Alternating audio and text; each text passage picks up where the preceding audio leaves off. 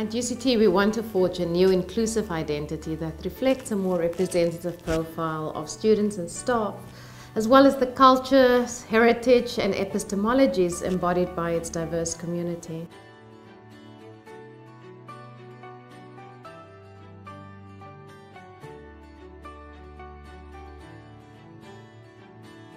So broadly, we want to affirm the dignity, the contributions and experiences of all who work, study and interact with UCT, regardless of gender, socioeconomic status, health, ability, sexuality or race. We want to reflect the fullness of our social and African context in a way that is creative, inclusive, accessible, just and sustainable.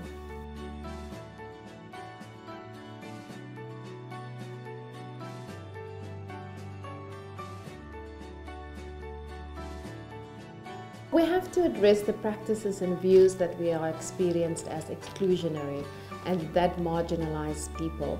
We will need to get to grips with the legacy and the continuation of colonialism and structural racism.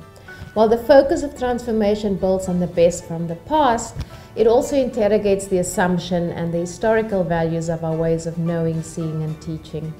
So we've therefore begun to introduce alternative practices that advance social justice and contribute to sustainable development by harnessing the best ideas, people and systems. We're creating a new inclusive identity by reshaping the curriculum, by working to improve student performance and success, and by pursuing employment equity targets and development programs. So we are currently reviewing the composition of all council and senate, and senate institution-wide and departmental committees to make sure that these are representative of gender, race and where appropriate marginalized identities.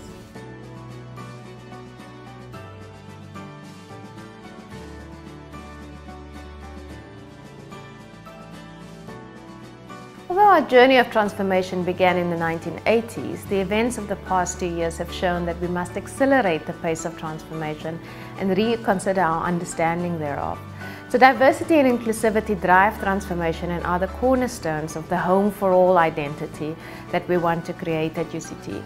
We want to be intentional about this. As a result, we've spent two years drafting the new strategic plan having consulted all our stakeholders and having gathered views from diverse communities and disciplines.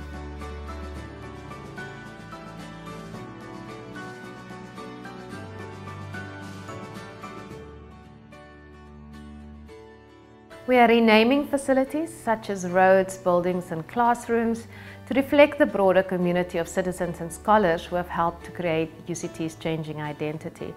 We've also audited and analysed the artworks and plaques on campus and the recommendations will be implemented by the university's naming of building committee and the works of art committee and of course by management.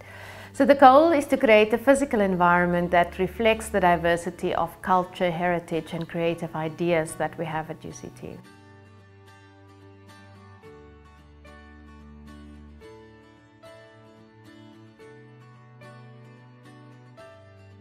There's a strong element of redress in creating diversity and inclusivity among staff and students.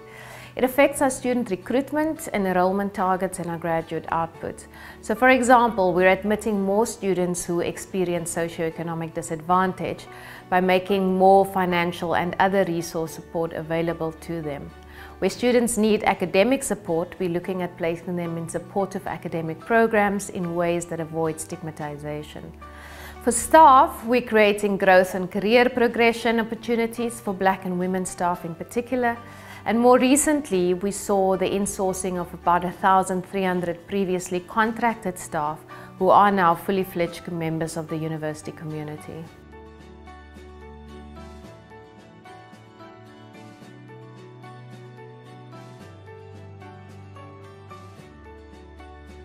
Discrimination has no place at UCT. But of course, we do recognize that UCT is a microcosm of the broader South African society, and so education is central to effecting change at the university. As such, we're targeting students through awareness campaigns, and some of the work, for example, is done through peer education program. We also focus on curriculum change, institutional campaigns and research on gender-based violence, patriarchy, social justice, gender, sexuality, health, community engagement stigma and substance abuse. We must strengthen the mental health services in student wellness and consider alternative healing modalities. The Mental Health Task Team has investigated the impact of mental health issues on student performance and throughput, and we will table a mental health policy in the near future.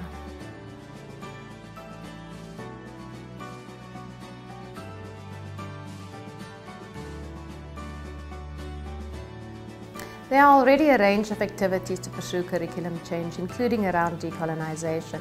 And this is happening in various departments across the university. In addition, the Curriculum Change Working Group has embarked on a university-wide process to encourage discussion and to shape coherent responses to the student-initiated demand for decolonised education.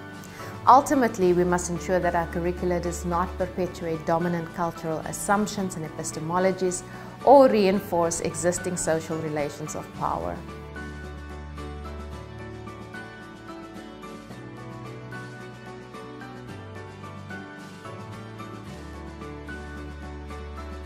Well, English may be the medium of instruction, but that doesn't exclude other languages in our daily discourse. So for example, we're supplementing our traditional approach to language use in class.